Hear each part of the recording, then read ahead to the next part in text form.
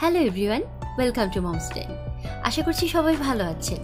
আমাদের আজকের রেসিপি সবার খুব পছন্দের মিষ্টি দই। অনেকেই হয়তো বাসায় দই তৈরির চেষ্টা করেছেন, কিন্তু দইটা ভালোভাবে জমেনি। এই রেসিপিটি ফলো করুন, দই অবশ্যই জমবে। তাহলে চলুন শুরু করা যাক। প্রথমে আমরা হাফ কাপ টক দই নিয়ে নিচ্ছি। খেয়াল রাখবেন, দইটা কিন্তু নর্মাল টেম্পারেচারে থাকতে হবে। এবার আমরা দইটা থেকে পানি ঝরিয়ে নেব। এজন্য এটাকে ছাকনির ওপর এভাবে পনেরো থেকে বিশ মিনিট রেখে দেব। এক কাপ ফুল ক্রিম গুঁড়ো দুধ নিয়ে নিচ্ছি। গুঁড়ো দুধটা ভালো ব্র্যান্ডের নেওয়ার চেষ্টা করবে। এবার এতে তিন কাপ কুসুম গরম পানি দিয়ে দিচ্ছি। আমি এখানে কুসুম গরম পানি নিয়েছি যাতে দুধটা ভালোভাবে অল্প সময়ে মিশে যায়।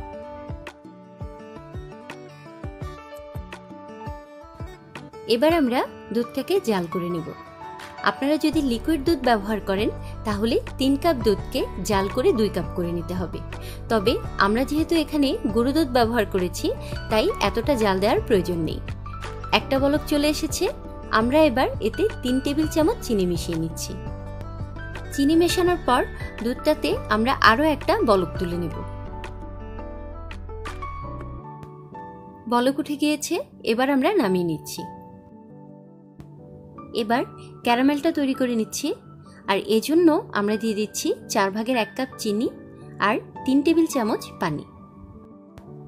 আমরা ক্যারামেলটা তৈরি করছি কারণ আমরা দইয়ে আর্টিফিশিয়াল কোনো কালার ব্যবহার করব না। আর ক্যারামেলটা দেওয়াতে দইয়ে যেরকম চমৎকার একটা কালার আসবে, তেমনি চমৎকার একটা ফ্লেভারও আসবে।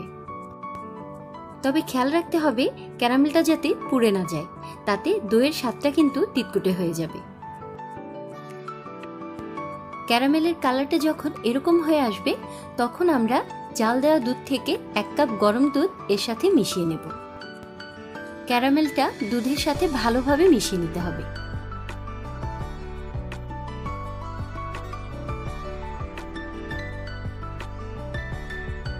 এবার এই মিশ্রণটাকে আমরা বাকি দুধটুকুর সাথে মিশিয়ে নেব। এবার দুধটাকে কিছুটা ঠান্ডা করে এর সাথে টক দই মিশিয়ে নেব।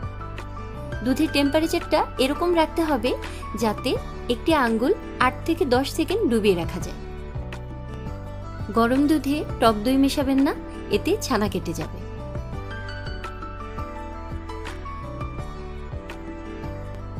টক দইটাকে হ্যান্ড হুইস্ক দিয়ে আমরা এভাবে একটু মিশিয়ে নিচ্ছি, যাতে এটাকে সহজেই দুধের সাথে মেশানো যায়।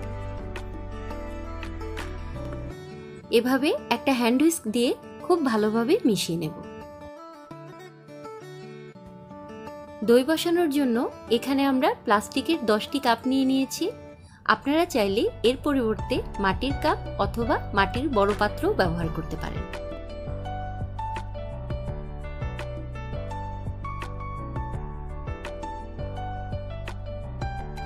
এবার একটি পাত্রে একটি স্ট্যান্ড বসিয়ে এর উপর একটি বড় টাওয়েল দিয়ে দিচ্ছি। টাওয়েলটা স্ট্যান্ডের উপরে দেবেন, এতে এটা পুড়ে যাবে না। এবার ঢাকনা দিয়ে ঢেকে প্যানটাকে মাঝারি আঁচে দশ মিনিট প্রিহিট করে নেব।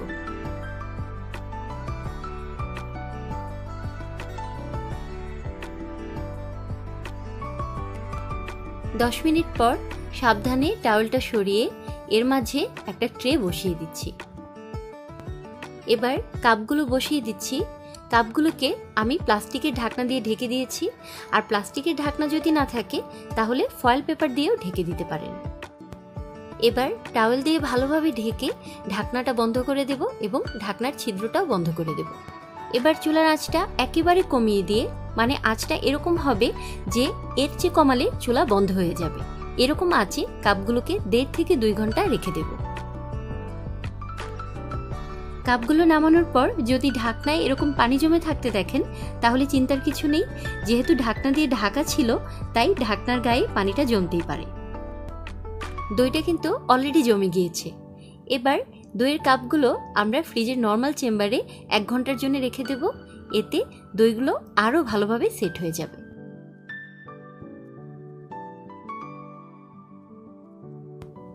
দইগুলো এক ঘণ্টা পর ফ্রিজ থেকে নামিয়ে নিচ্ছি। এখানে এক কাপ গুঁড়ো দুধে দশ কাপ মিষ্টি দই হয়েছে। দইয়ের কালারটা যেমন চমৎকার হয়েছে, খেতেও এটা কিন্তু বগুড়ার বিখ্যাত মিষ্টি দইয়ের চেয়ে কোনো অংশে কম হয়নি। আমি একটু কেটে দেখাচ্ছি। দেখুন দইটা কি সুন্দর জমেছে। আপনারা অবশ্যই এটা বাসায় ট্রাই করবেন। আর আমাদের চ্যানেলটি সাবস্ক্রাইব করতে ভুলবেন না। Stay safe stay healthy